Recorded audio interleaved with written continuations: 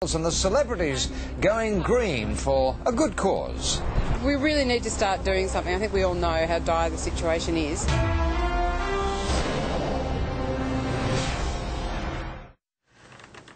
Welcome back. And 50 school kids, along with some well-known faces, have joined forces to help the environment.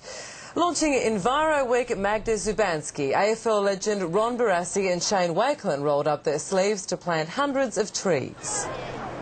If we all just commit to a few simple actions, the, the massive change that we could bring about, you, you know, we, we really need to start doing something. I think we all know how dire the situation is. Enviro Week runs from October 11 to 17.